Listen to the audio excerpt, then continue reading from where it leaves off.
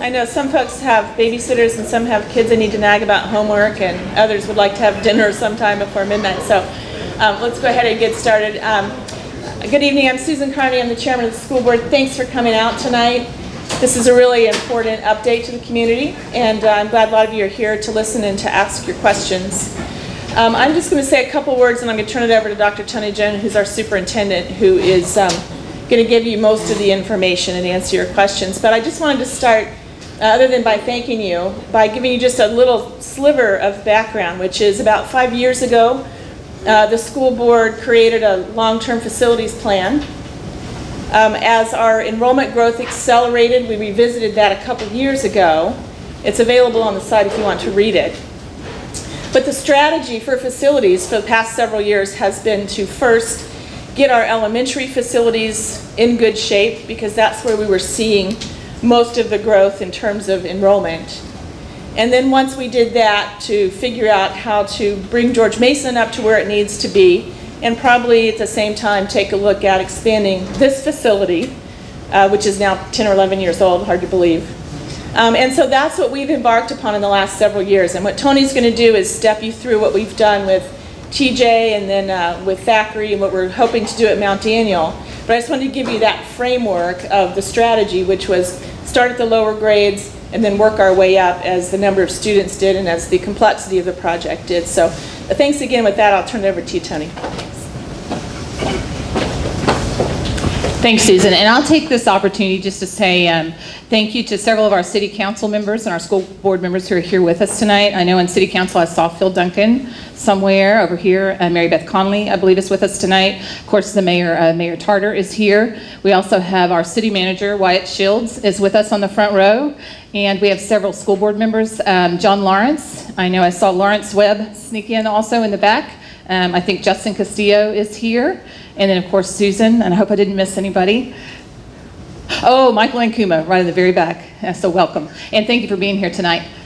First of all, just start out for those of you who could be new to the community or it's been a while since you've really been inside our schools, just recapping what school facilities we have right now. Jessie Thackrey is our newest uh, facility, not quite open, and I'll have a slide on that in just a minute.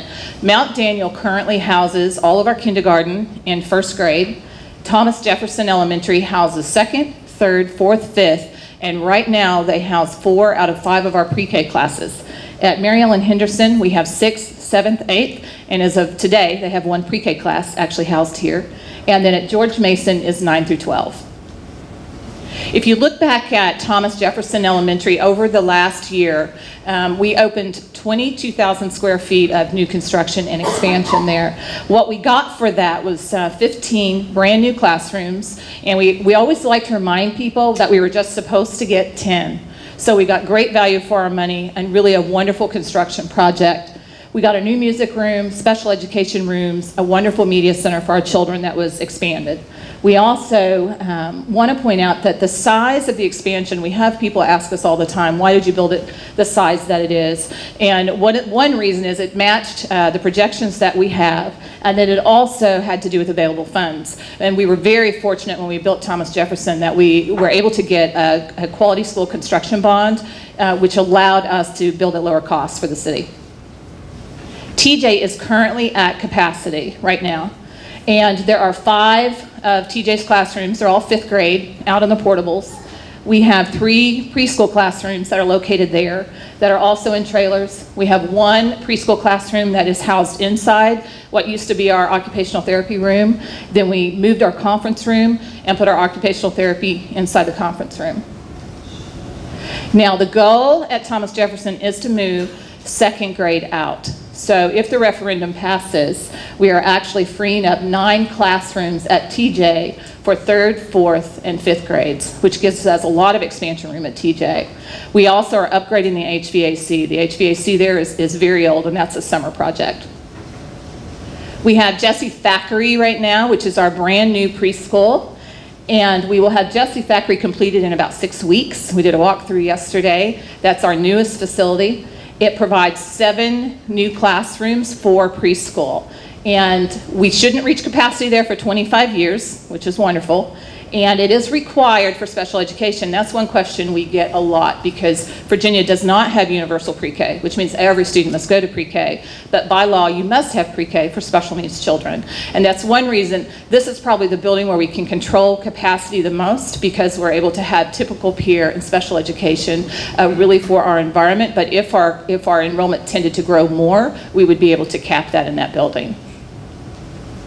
In Mount Daniel, when we talk about the Mount Daniel referendum, which is really the main reason we're having the forum, but it's also just for you to understand the whole facilities piece. The referendum is to alleviate overcrowding out Mount Daniel. When you look at Mount Daniel's uh, growth since 2009, and one of the reasons I, I, actually have this slide in here is there was something that was in the paper, I think it was in the news press, where it talked about, oh, we, we didn't grow at all. And that where that has come from is we have one grade level that had a lower growth this year, and that was kindergarten. But what you need to understand is it's still really high. If you look at 11, 12, 12, 13, we had a huge growth last year.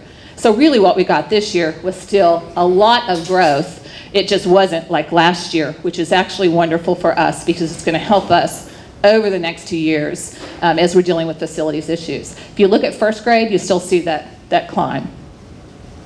So the goal at Mount Daniel is really to get a safe and accessible building. Right now, if we have a child who's in a wheelchair, or we have parent night, and we have a parent that's on a walker, you can't get in the front of the building. You can't go through the front entrance. Um, we also want to be able to handle second grade. Having an early childhood building for kindergarten, first, and second grade would be wonderful for our children. Um, we also want to accommodate growth for the next 20 years. We want to make sure that we're building a building so that we can grow with us. On this proposed plan, we had 18 classrooms, which will give us a total of 36 in that building. We will add a media center that will be brand new. They'll have a brand new gym, brand new cafeteria, art room, music room, daycare, and all of those other specialty rooms that you would have in the school. Those of you that have children there now or used to have children know that we share a cafeteria and a gym space right now. What that means when you grow is that either your children need to eat at 10:30 in the morning to eat lunch or you can't have as much physical education as what you need because they all are in the same space. So this allows us instructionally to have a much better building as well. Actually, on the bottom of this, I want to point out too that we are returning our media center with this plan. Some of you, I'm sure, are aware that this year our media center became a classroom. So we no longer have a media center at Mount Daniel. Last year we lost our music room. So we want to get those spaces back for our children. Why should we modernize and expand? Well, first of all, Mount Daniel was built in 1952. It's really, really old building. And it lacks adequate ADA access, which I've already mentioned. Your water fountains aren't correct, the width of the doors aren't correct. Um, if you've ever walked down the hall of Mount Daniel, it's just, it's a ramp.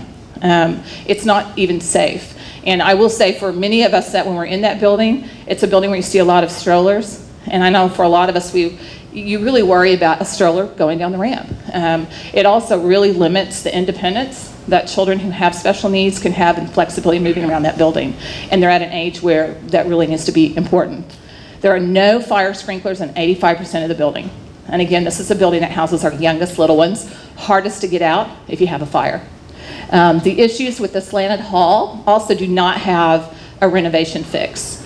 And the school board has really done their homework over the last couple of years. And in 2011-12, we did some modeling to see what can we add there. Could we move second grade back? Can you look at renovating the old section? Could you go up?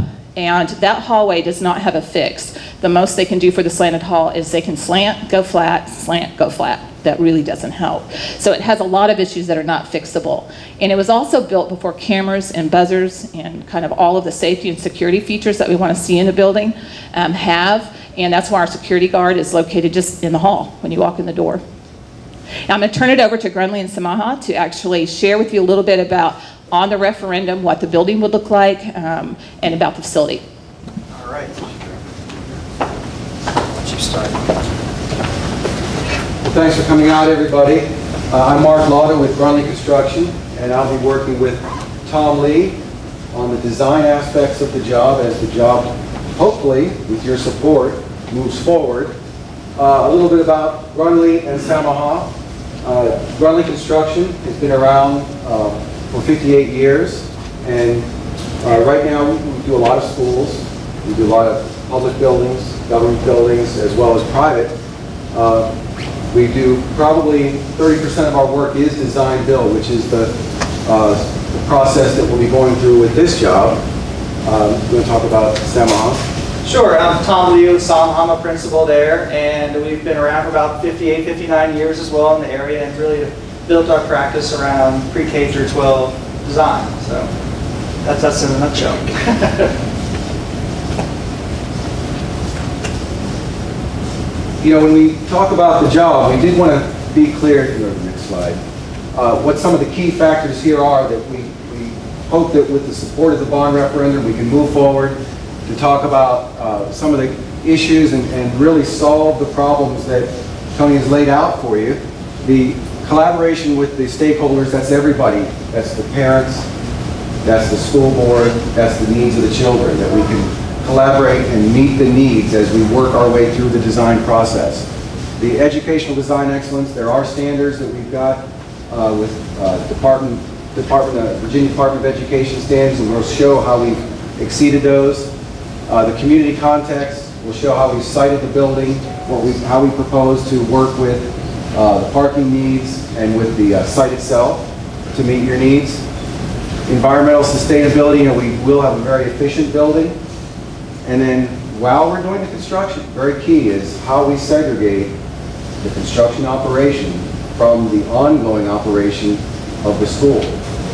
So Tom will give you some details on that. I appreciate the opportunity to be here and talk to you a little bit about this project. We've put a lot of legwork into this and looked at, you know, what the existing school has in its current condition, what the proposed um, square footages were of these spaces, but then to go above and beyond that, we compared it to the Department of Education standards. And in some key spaces, we really determined that we needed to add above and beyond what was the minimum required for the school construction. Some of these spaces like the health clinic were enlarged, the STEM lab, which is the science, technology, engineering, and math labs were enlarged, as well as some uh, spaces like the kitchen and so on that were needed. But in the kind of the, the short of the long story is that all the spaces that are required by the program, we've been able to accommodate above and beyond what the program is. You know, the only thing that's below 100% is the toilet areas. That's because we needed to get to a certain number of fixture counts, and the more efficient the design was, actually being a little less on the square footage there is a positive thing. But in the long run, we're able to create a full over 65,000 square feet of new construction. So while this is a major uh, addition for this project. It gives a lot of new, complete space. And with that, I'll talk a little bit about how we're doing that.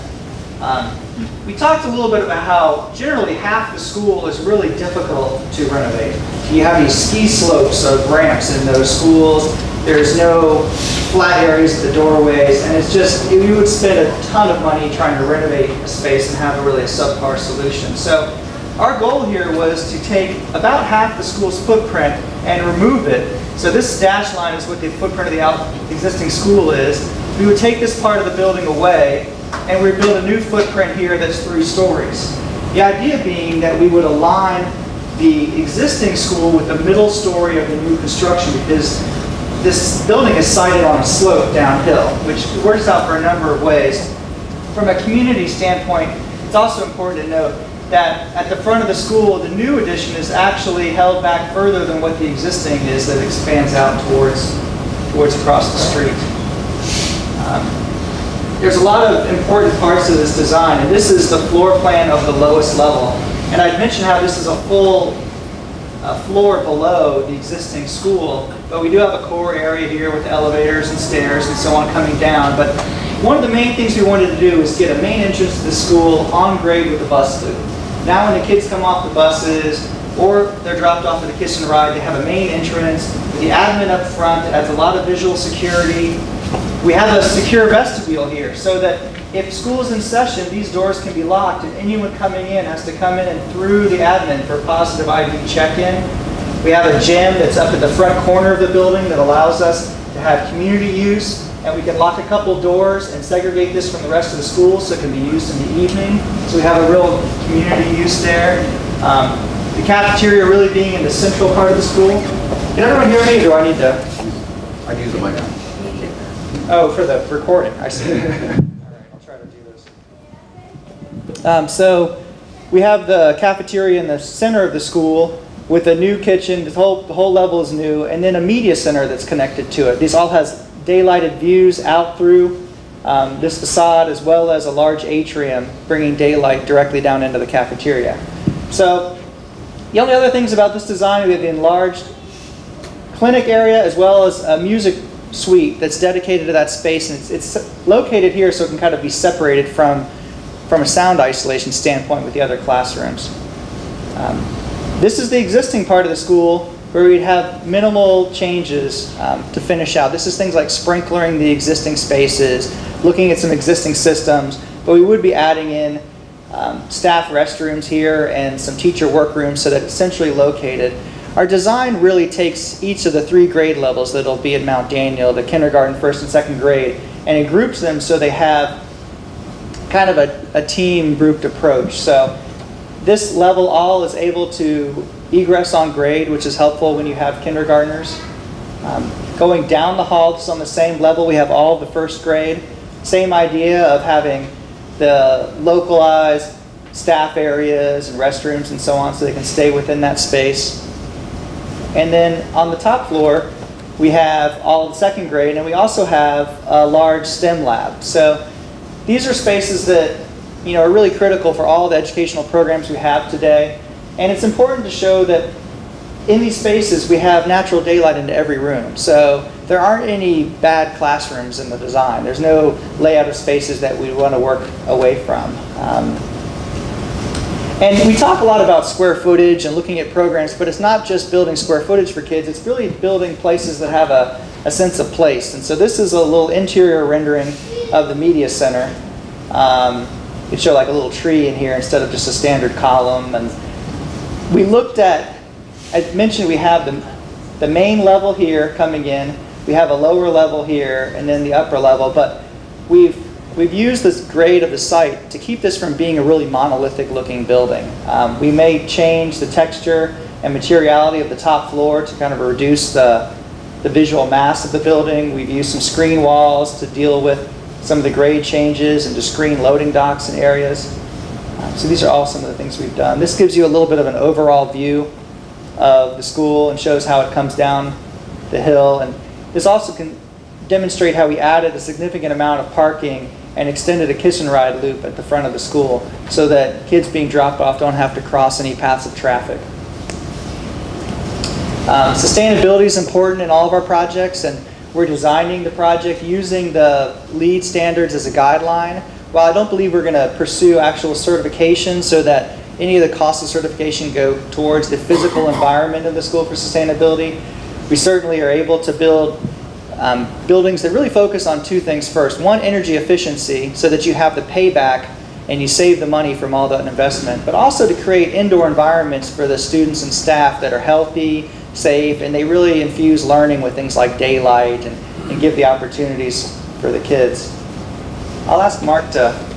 You know, and just, again, just to address, address the concerns that, that uh, you may have regarding uh, the segregation during construction. What we would do is, this area is the construction area. This would all be fenced outside of the, the classroom area. So the classrooms would remain. There would be a gym and cafeteria installed up here on the paved area. That would be a temporary structure. So the kids can still have use of, of an indoor space. There would be temporary classrooms out back here. This playground would still be operational that's there right now. Uh, and then the real, the real key here, and hopefully the schedule and the permitting process will, per, will allow it, is demolition of the existing building we're looking to do in summer of next year while the, the kids are out of class. So they call it the, the heavy, messy demolition operation will be during the summer is what we're shooting for. And with that, thank you.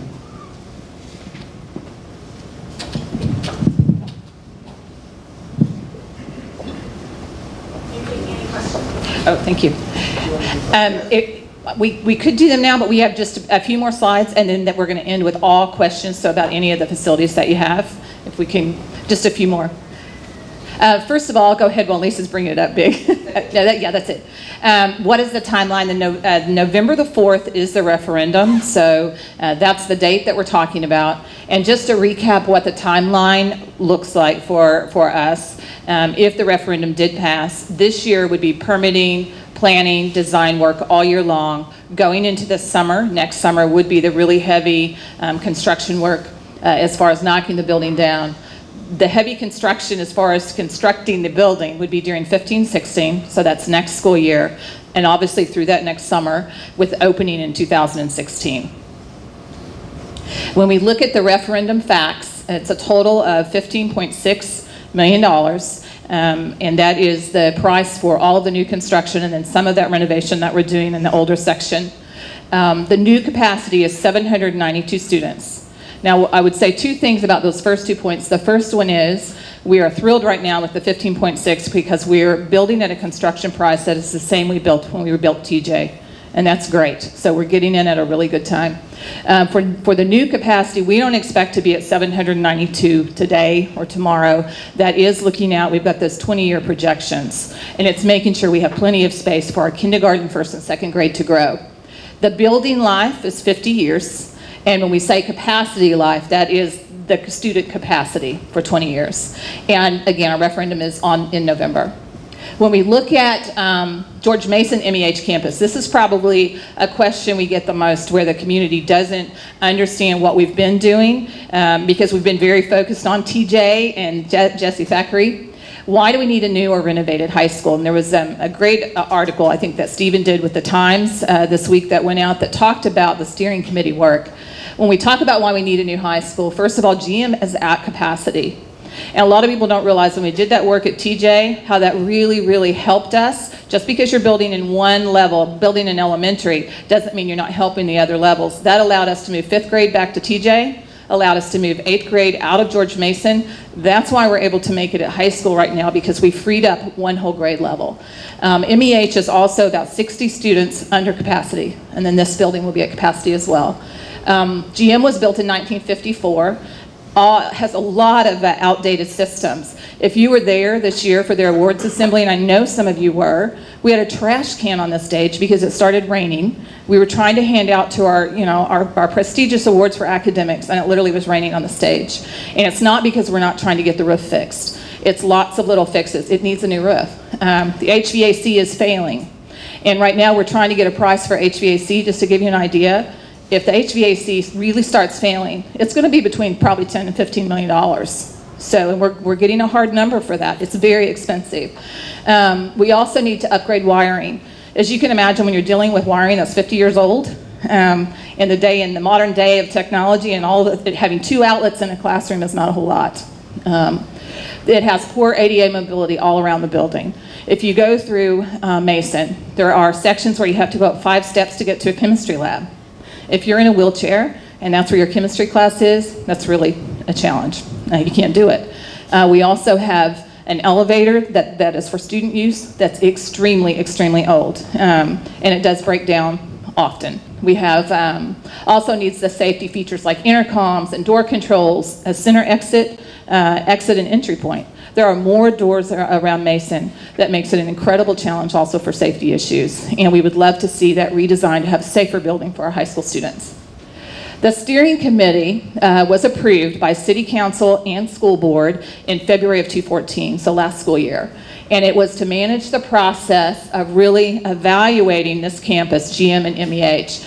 And we have been meeting regularly for the last eight months, meeting a lot, um, and we all love each other. It's fun. It's actually a really good group. We meet at 7.30 in the morning. Um, there are two city council members, two school board members. We have the planning commission represented. We have the economic development authority. Lots of staff input as needed. Um, and then of course, Mr. Shields and myself are there as well.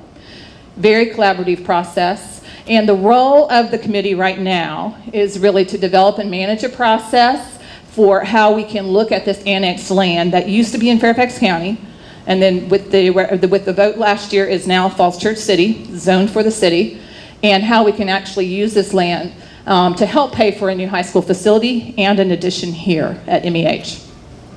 And one of the first goals that the committee had um, was to answer two critical questions. And with the water deal, it allowed us to look at zoning a little bit differently on this property. So is 70% of this land enough to accommodate a high school for 1,500 students?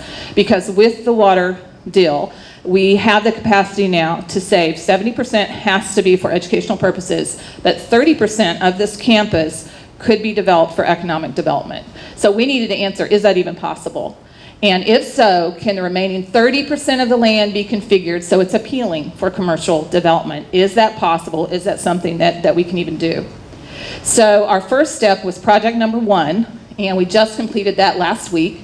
And it was a test fit by RTKL, which is a, a large company, um, which answered those two questions set out above. Um, yes, it can be done. We can build a high school on 70% of this land and have 30, up to 30% available for development. And just to point out, on our website, we have all of this posted. Uh, Mr. Brett, who's right in the back, does a great job of keeping everything updated, and he's made it really easy on the front right-hand side of the page where there is a basically an icon that will take you to all of this facilities information. When you look at project number one, we started out by just studying the site. And a lot of people, if you haven't seen an aerial view, just knowing how big Mason looks, how much land it takes up, and it's not that much bigger of a school than our middle school if you're talking about square foot. It's because the middle school goes up and the high school's just been added and added and added. So is 70% of the land enough to accommodate a high school? So this is just showing you, again, this is just modeling. Um, and the steering committee just was trying to answer that question. And there are several different options for actually compacting our high school campus and having a high school that would go up instead of sprawling and out like it does now. And where might commercial development be located? Again, there are several options. And with RTKL, this is just one option. They had another option down here, but just letting us know what is the capacity of the land. And they did a great job helping us answer that question. Our next project is starting in October, October 15th and 16th. We have the Urban Land Institute, um, which is a technical assistance panel that will be in Falls Church, really looking at what is the highest and best use of the land, um, more from a development eye. And that was a grant that actually uh, Wyatt staff worked on and were able to obtain so that we could be in this project. So lots of exciting work ahead. And I know, Susan, you wanted to say a couple comments before we take questions? Okay, we'll go ahead and take some questions. Mr. Shields, have you come up here with me?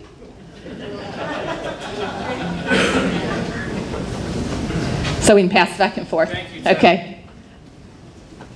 Yes. Hi, yes, question about Mount Daniel. Is there any impact to the playground in the end state? And what is the impact during construction?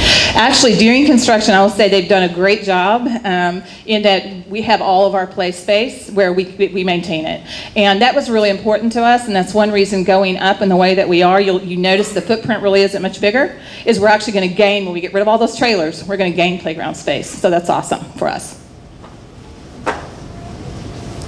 What's the estimated timeline for this possible Mason and Upper MEH? Uh, that's, that's a hard one. For George Mason MEH project, it really, I think we've got so many questions to answer, and Susan, I don't know if you want to chime in there? Yeah, I'll take this one. Now, if I had my way, I could tell you. Yeah, if it was up to Toni, we'd be breaking ground next week. It's a complex project and it's going to take some time. Um, right now, the timeline is we are going to complete project two by the end of the year and have that feedback. So then we'll know a little bit more about what the best uses are and the revenue streams, maybe potentially from the land, should be. Um, in the spring of next year, we'll have a community-wide visioning session about this particular campus, where the entire community can help us set priorities and talk about uh, do we want to develop any of it, 30% of it? What do we want in a new high school? Um, and do that process. And at the end of that process, we should be able to give a better timeline. But I have to tell you, because of um, uh, the complexities of figuring out a new high school, the complexities of economic development, uh, we'd like to see if we can leverage some of our work with our neighbors at, uh, in Fairfax County, at the universities next door, maybe WMATA and other places. Um, it's going to take uh, some time. It's going to take some time to do. Does that help? A question about funding. The word on the street is to the, um, the cost of the referendum is going to be three cents on the tax dollar, on the tax rate.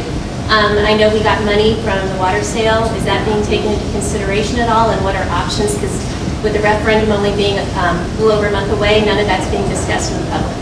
I'm going to ask my colleague, the mayor, if he'll come answer that question for you.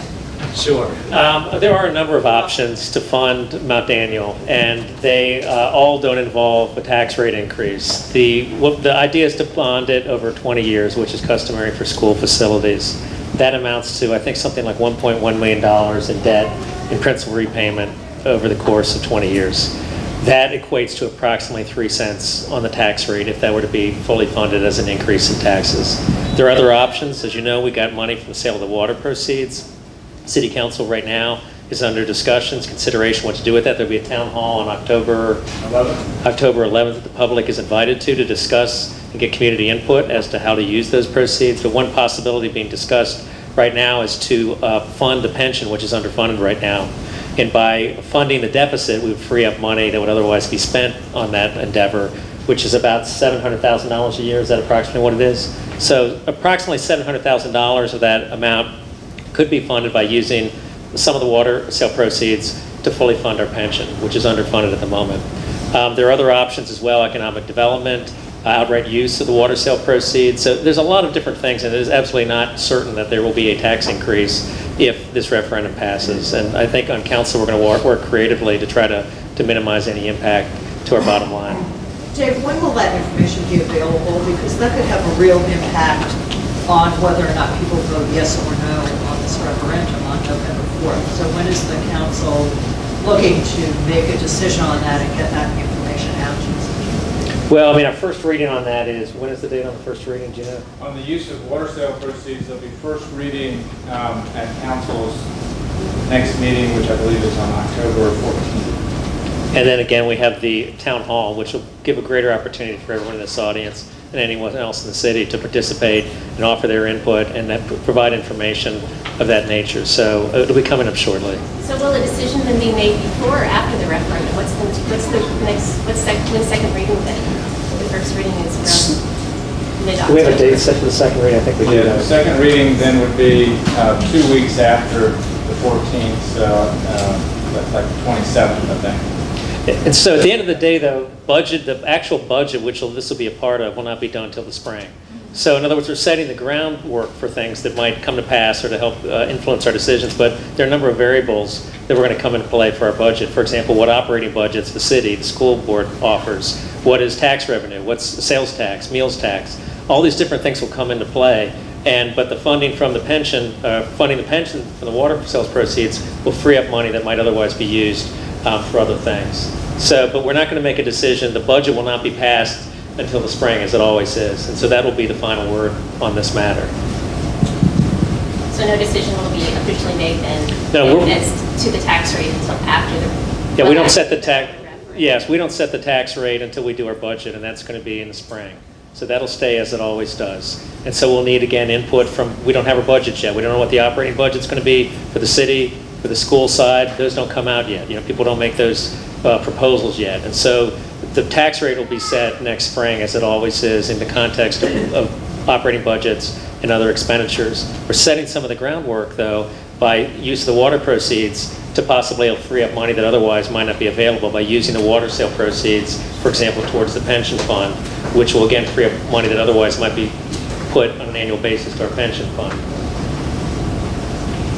That make, any, you want to add anything to that? I I think one thing I would add that um, I think everybody needs to be aware of in the context of funding Mount Daniel is that um, we have a capital improvements program uh, that's a five-year look of, you know, our immediate planning horizon for facilities. And that's a very involved process. Um, It goes to the planning commission, gets adopted each year by the city council. And in the adopted capital improvements program, we have about $132 million worth of identified capital needs out of the general fund that are taxpayer-supported projects. 90% of those are for schools. And so we want to use the water sale proceeds strategically to accomplish as many long-range goals as, as possible. And that's the reason why it's not a simple response to the question, why not just use the water sale proceeds immediately for Mount Daniel? Um, an important consideration, we're currently in a low interest rate environment. it's a good environment for issuing debt on historical, you know, on a historical basis. I think everyone in the financial markets uh, believes that probably interest rates are going to trend up right about the time that we're doing the, some of the other heavy lifts in that capital program, including a high school project. And so maintaining financial capacity, including the water sale proceeds, developer proffers, and all the assets that we have available to us to help solve those problems, I think that has to be part of the decision-making about how we would pay for Mount Daniel. I think part of the appeal as well for making a pension contribution is historically pensions have returned about 7%.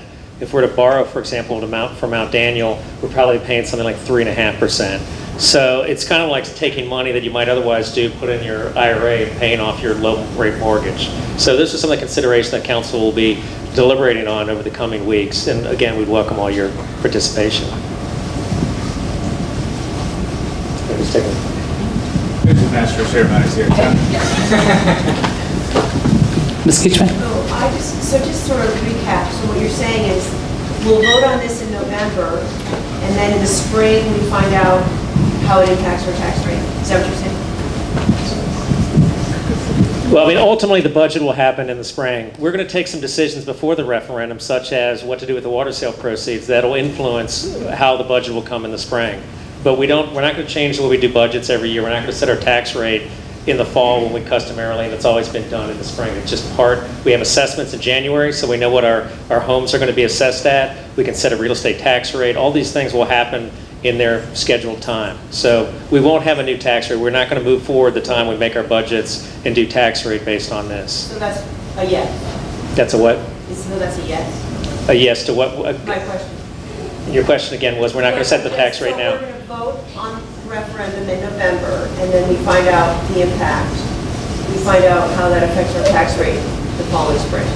Well, ultimately, our tax rate is going to be set the following spring. We're going to vote on use of sale, water sale proceeds before then, so you have an idea that we may have a source of additional revenue that we didn't have before, which could amount, for example, to several cents, so maybe even, what is it, I guess it would be approximately two cents on the tax rate if we use the pension fund a certain way that's under consideration that I tried to describe just now. You'll hear more about it at the town hall. But these different pieces will fall into place, but they all won't fall into place. We don't know what assessments are going to be. That's done by the assessor every year by law in January. We don't know what meals tax are going to be. We don't know what business license tax are going to be. So there are a lot of variables that come into what the tax rate is going to be. This is one of them, uh, but it's not all of it. So we're not going to, you'll find out in the spring what the tax rate is. Yes, sir. I assume that if, for some reason, the referendum was not passed, that there would be costs associated with doing things that are needed for the schools that could be done outside of a referendum. So it's not like it's an all or nothing. It's not like you pass the referendum or you don't, and if you don't, there's no cost. There are costs. And I think that people need to, I don't know what they are, but is there a plan B? Is there something that we can understand the magnitude of what an alternative that might be that could be done, like TJ, without a referendum? I mean, there are several different things that we could do. It could be phasing, where it's less than $10 million and you're having to build part of it. But the difficulty with that would be, it's, it's based on student growth and needing classrooms. And if, you know, to give you an idea, it was just half a million dollars to put in those six trailers at TJ that we just put in this last summer. You have a 12 to 15 year life, so that means in 50 years, you could have done that two and a half times. So in the long run, yes, it will cost more to do it that way. What's the dollar value, would you remind us of the dollar value of the water system? What's that number? Uh, The net proceeds from the water sale is uh, $20.5 million. That- So that's what you have to work with for all the things.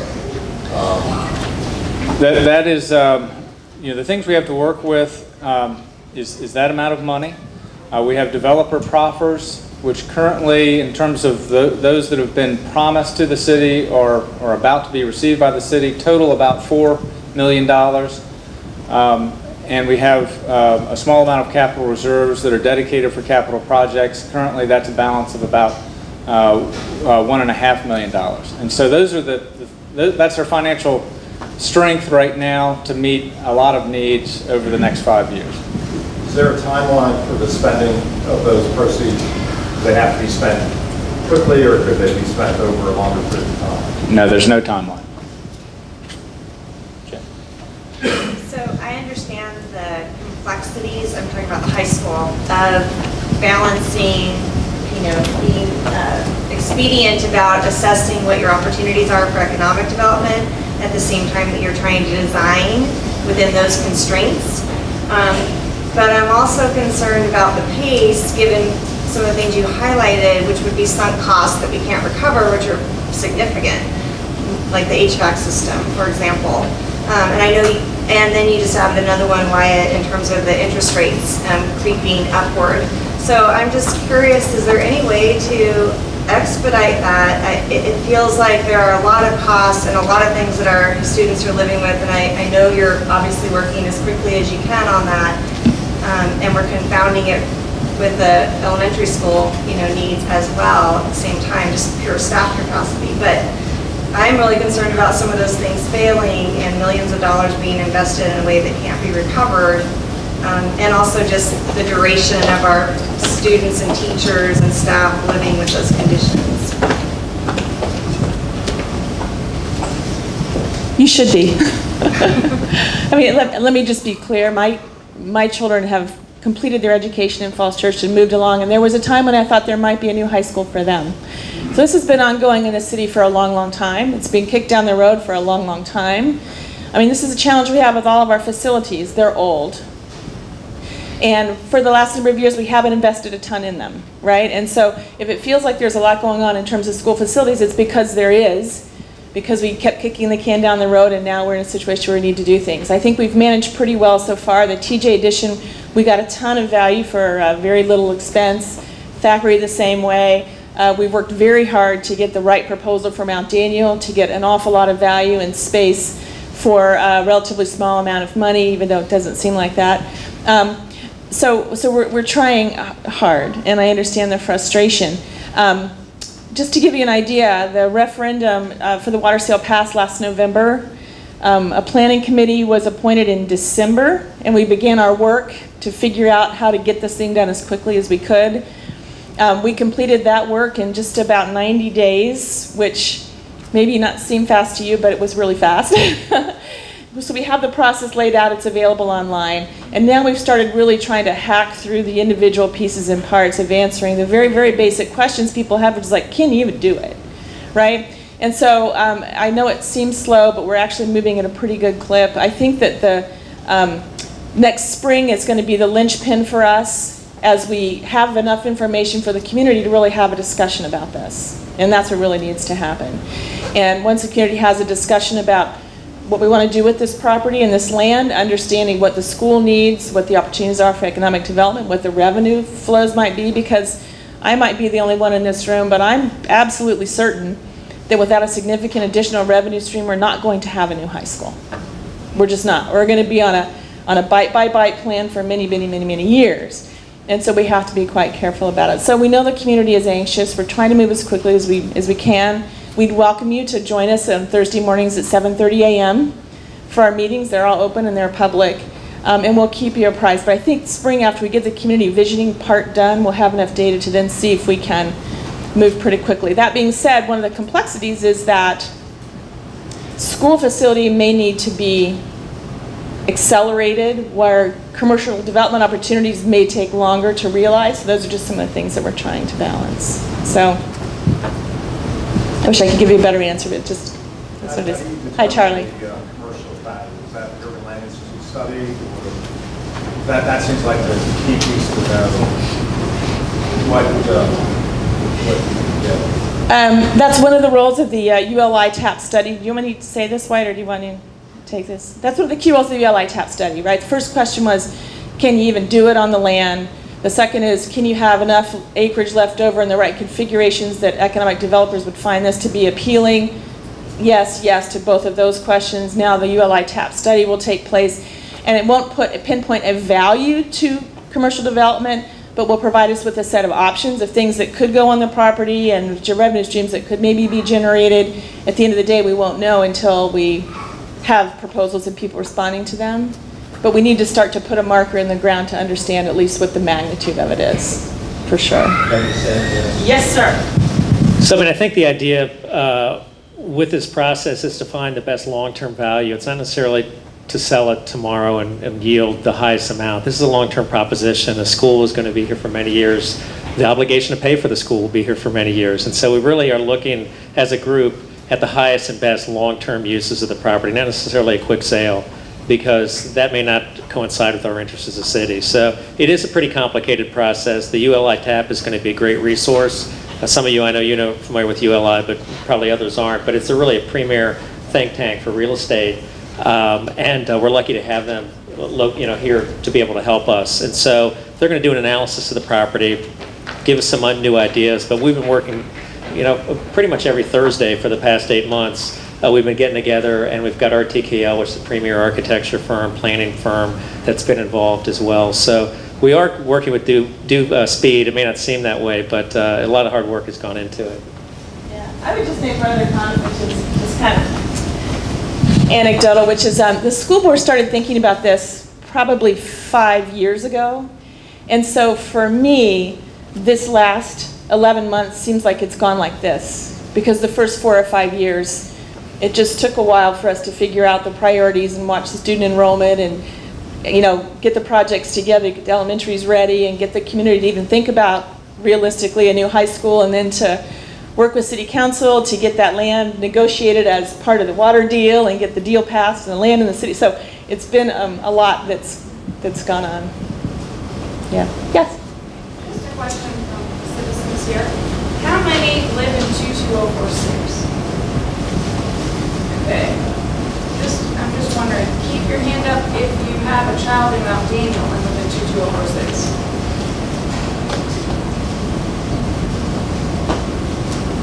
So 10 of us. How many don't How have many children? have no children, raise your hand, but live in 22046? No children currently in the Currently in the school system, yeah, sorry, yeah.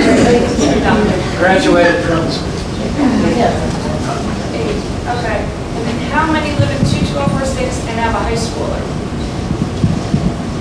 I'm just trying to see the demographic, I'm sorry, it's just interesting because so many people are saying to a lot of us that have elementary school age children, if you can't get Mount Daniel done, how in the world are you gonna get the high school done? Which I think is a very valid question. Um, and so many people are also saying, if we can't get our flagship school done, you know, why should we bother with Mount Daniel? So I think it's important to know that the elementary schools, children at Mount Daniel are eating at 10:30 in the morning, that we're purchasing new cafeteria tables because there's so many kids there that don't even have a place to sit. So I think the folks that pay taxes and have every right to hear about the situation in the schools need to kind of have a better picture of what's happening because it's not the same when they have kids in their schools. I don't know that that picture is really being made. Yeah, so uh, let me respond in a couple of ways. Um, first, you know, it's, we have the children, right? The kids are here in the city. More of them will be coming. Our uh, forecasts are generally pretty good. And we're just flat out of space at the elementary level. We're just flat out of space.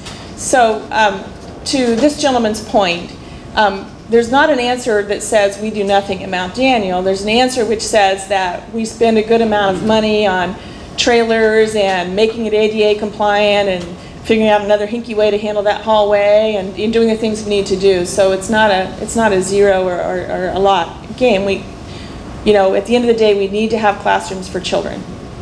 Um, and at Mount Daniel, they don't have a library this year. That's now a classroom. Don't have a music room. I mean, there's just kind of this ongoing list of we keep putting children in every corner to try to educate them, just as we did at Thomas Jefferson for a number of years. For a number of years, so there are real needs at Mount Daniel um, that we need to somehow satisfy. We think the most cost-effective way to do that is through the project that we've outlined in the long term in the long term, and particularly if we can prosecute it now while interest rates are a little bit lower, rather than in little pieces over years as interest rates go higher. So, you know, that's one perspective. At the same time, I understand the concern of parents at the high school, because it's been a long time. It's been a long, long time, and uh, it's not an ideal learning situation, you know, for our kids. And it is a, but it is a much bigger project. And frankly, as I said before, it depends on finding a new revenue stream um, that is going to take us a little bit of, of time, you know, to identify. Um, the second thing I would say is just um, I'm really empathetic with people in the city who don't have children in the schools because I am one, you know, and I live here too and I pay taxes too. Um, and I, you know, I think that, that some folks um, think that the schools use an inordinate amount of our resources here in the city. And, and they do use a lot of the resource in the city, but I, as I keep trying to tell people, not any more than in Fairfax County or Arlington or other places where kids need to be educated. We're very lucky here. We have an excellent school system. People want to send their kids here. We have a small, intimate town. People want to live here.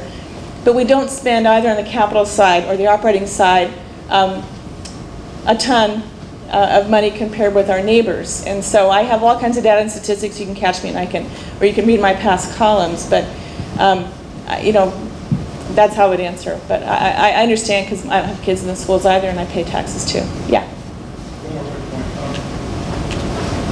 I of to ask, how many families are here with kids in Mount Daniel? Um, we have one child in Mount Daniel, of the kids at TJ at MEH.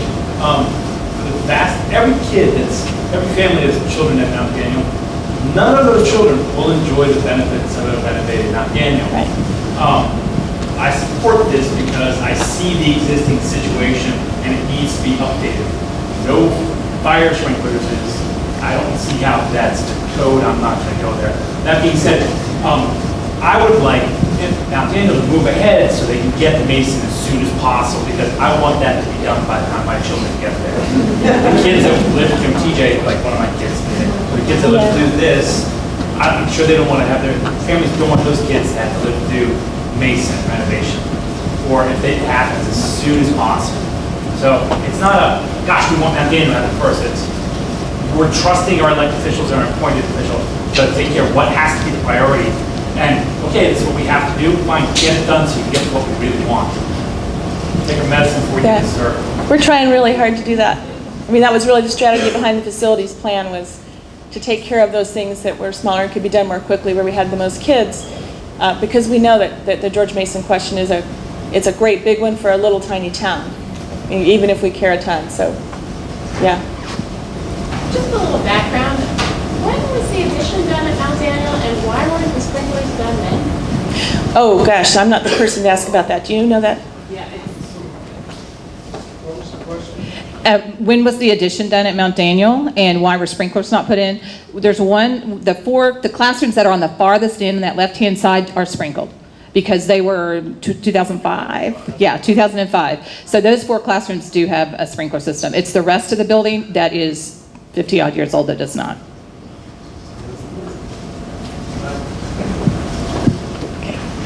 I wanted to ask about, uh, uh, there was uh, a lot of, a lot of talk with the neighbors, and not much was happening.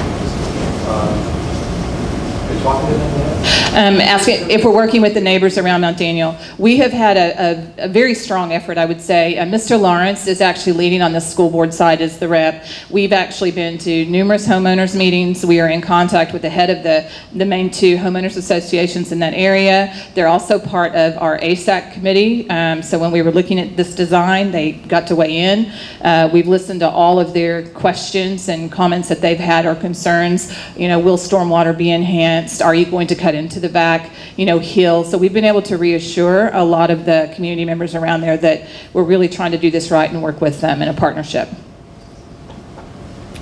Yeah, am I mistaken in thinking that about six months or a year ago, we were talking about uh, a thousand or thirteen hundred schools for the high school?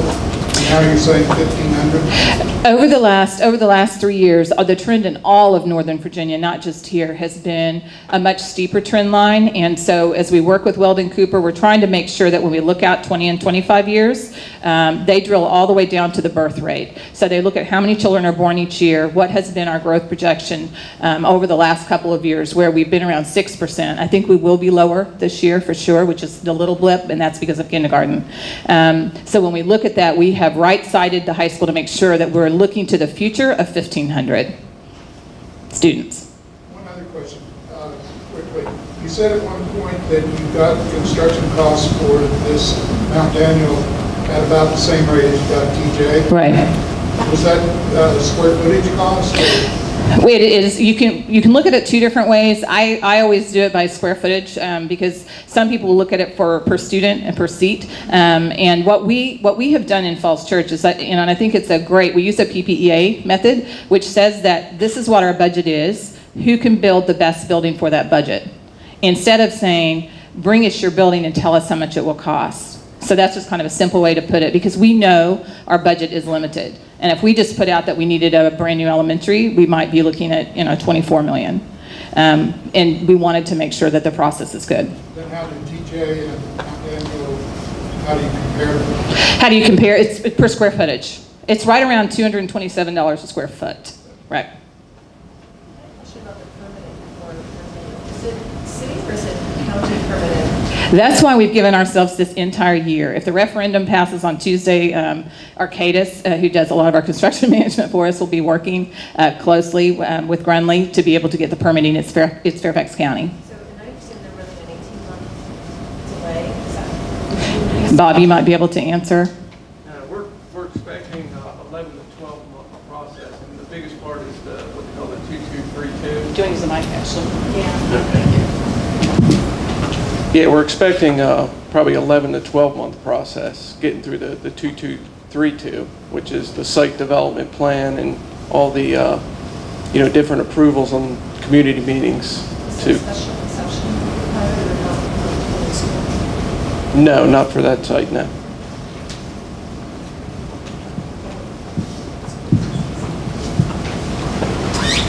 Oh, Dennis.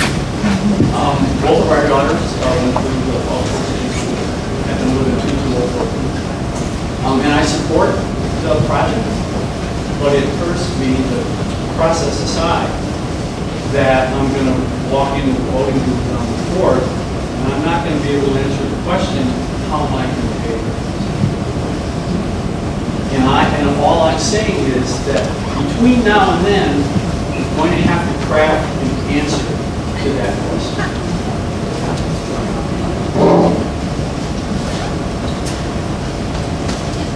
The question was just made.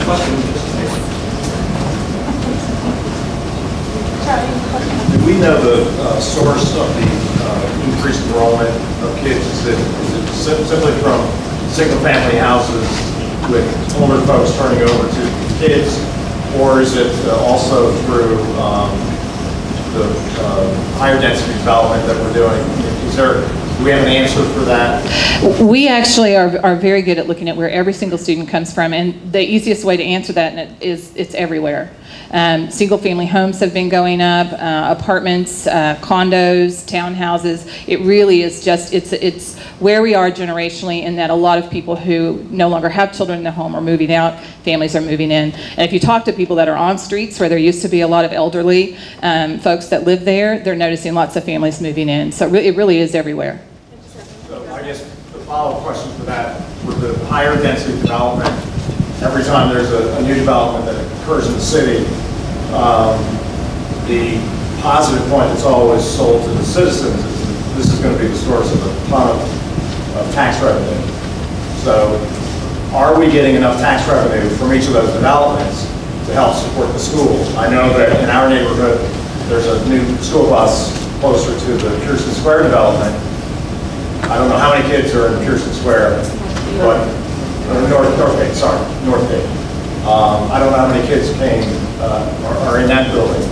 But I would like to think that if, if, you know, we're selling development, uh, because of tax benefits, that, you know, hopefully that's helping to pay for these school projects that uh, are creating financial questions. I'm going to let one of them answer that question. I just wanted to add something on to what Toni said, which is condos are the lowest um, provider of kids to the schools, and we've seen that, I think, pretty consistently. Um, We were nervous about Northgate this year because it's a rental building, and uh, the number of kids coming from Northgate is, uh, meets the lower end of our model, which is terrific. So we're seeing that building those smaller uh, kinds of dwelling units that are really not meant for families, at least in that instance, worked. And, and we have a model that's updated consistently. So So the kids are coming from everywhere, but we do have kinds of housing in the city that don't generate a ton of kids that do bring certain kinds of residents and lively, you know, to the city. Um, and we just, uh, we track it very closely. And we need to keep a watch on it. Do you guys want to say anything else? Well, I would just say that um, we do extensive modeling, not the same as the school, but we have fiscal model we do, and uh, projects are analyzed based on that. They don't always come out as they're projected or planned to. Pearson Square is an example of that. I think the city loses money when all things are taken into account. It actually is a net loss to the city. But most all of the other projects are in fact positive. But it isn't, it's an art, it's not a science in terms of predicting what kind of revenue or net revenue will be produced from a project. And so I think that's why some on council are wary of, you know, some new development and the mix of development. And we certainly are working as a city to try to get a better balance between residential and commercial. Unfortunately, the marketplace right now is skewed towards residential. But nonetheless, as new projects come in, uh, the city is very strongly, you know, pushing developers to have a strong commercial component, such as Mason Row, which does have a predominance of apartments, also has a hotel. It has a pretty strong retail area. The Harris Teeter um, is got a grocery store that hopefully will bring people in from all over the area and, and really create some tax generation. Same thing with the Fresh Market. So all the new projects, at least since I've been on board, we've really tried very hard to make sure there's a strong commercial component. But it is really impossible to, fully predict, but we do the best we can. And, and one thing I would just say, you know, the top priority for the city is, is commercial investment in the city um, to um, equalize our tax base, grow our tax base to help us be a sustainable city. Um, what the market wants to bring very often is mixed-use development with a residential component. Of all the mixed-use development that's been approved in the city since 2003, all of them put together for every pupil that comes to the school system comes with annual recurring revenue of about $40,000 for each student.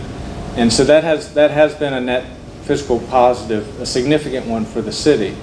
But we do watch it very carefully and, and demographic tre trends can change. I mean, just for instance, in the uh, apartment sector, uh, 10 years ago, each about 10, 10 apartments would generate about one and a half students. Right now, 10 apartments generates three students.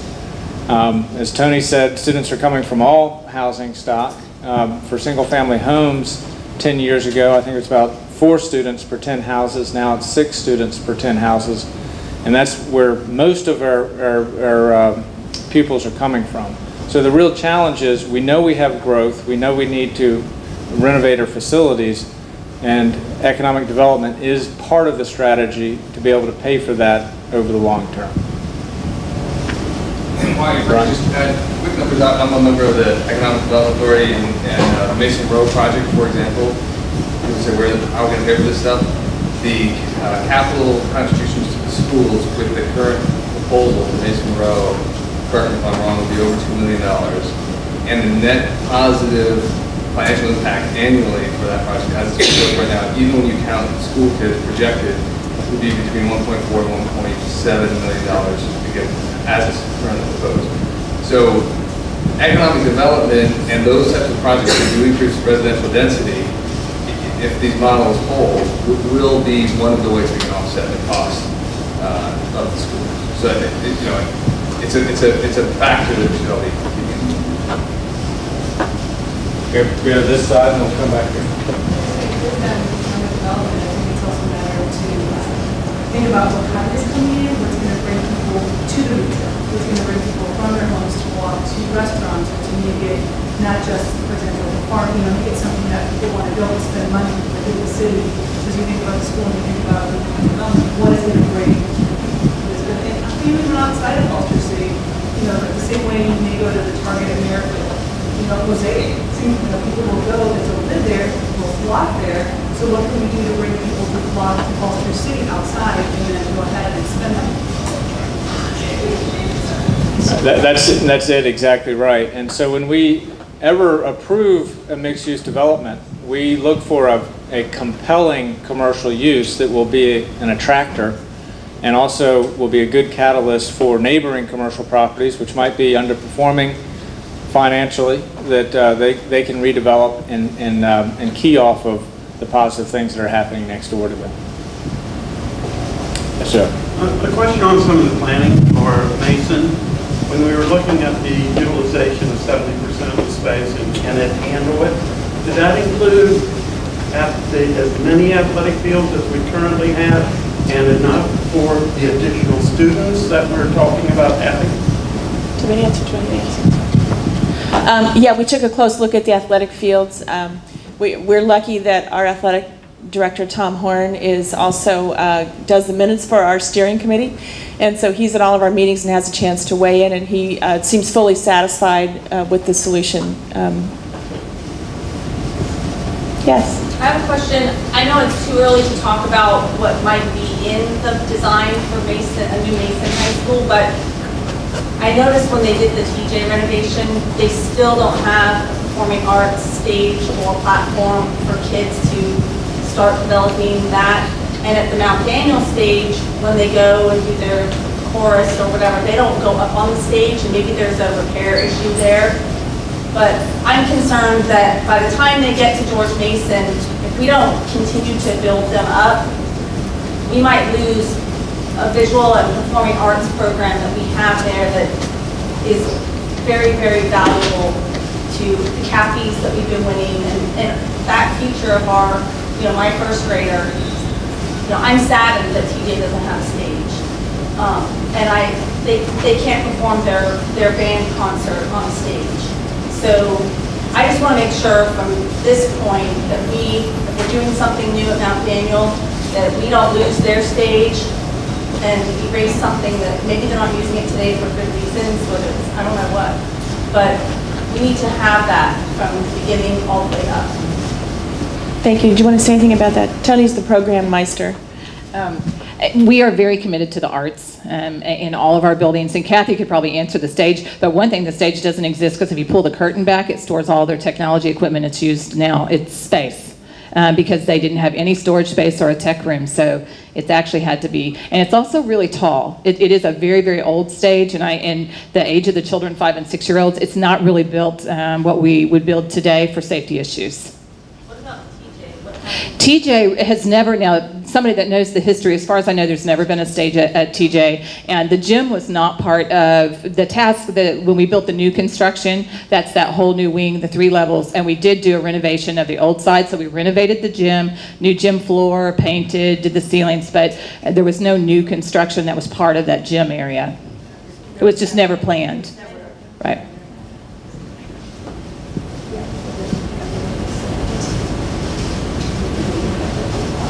Sharon, I have a question for Wyatt. We have a number, as everybody knows, of new construction projects going on in the city.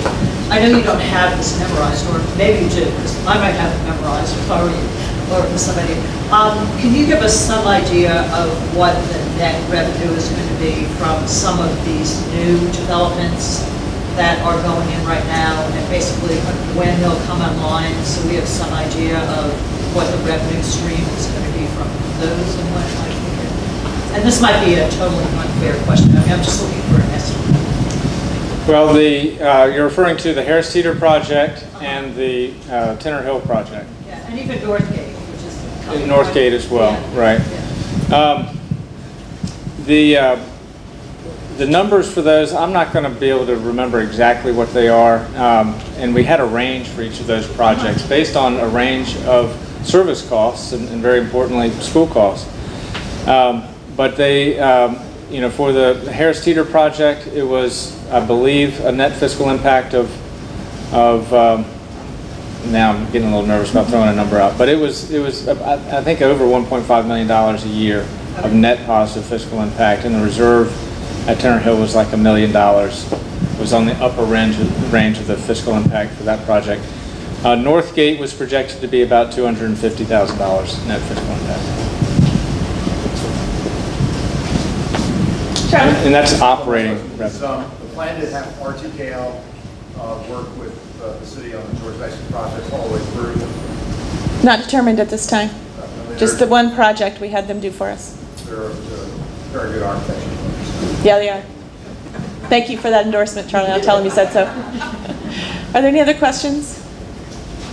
Um, If not, uh, thanks again for coming out. I know there are a lot of things to do during the week at night. Uh, Just a couple last thoughts I would leave you with. One, uh, Justin Castillo and I and John Lawrence and Michael Nkuma and Lawrence, other members of the school board, our job between now and the Mount Daniel referendum is to provide the community with the facts about the referendum. If you have questions about the facts, please contact any member of the school board or Dr. Jones, and we'll make sure that you get those. We do have some handouts we're going to give you tonight, and there's lots of information on the website. But we want to make sure everybody in the community understands and has a chance to ask questions so that if they're going to vote, they can make an informed decision. So let us help you in that regard. Um, there are also various organizations, I think, in the community that are uh, maybe springing up to advocate for or against the, the referendum. And um, I, if any of those are represented here, I would refer you to them um, to, to help you if you'd like to get involved in helping the referendum pass or not. Um, and we can make those connections for you as well. So thanks again.